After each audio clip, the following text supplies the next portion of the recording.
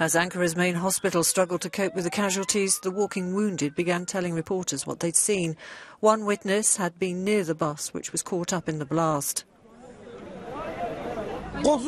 All the seats on the bus were full. There were about 40 to 50 people on it.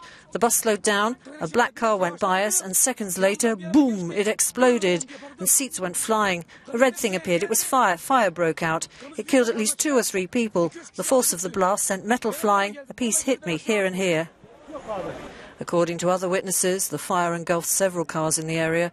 With so many of the injured said to be in a critical condition, the number of fatalities is expected to rise.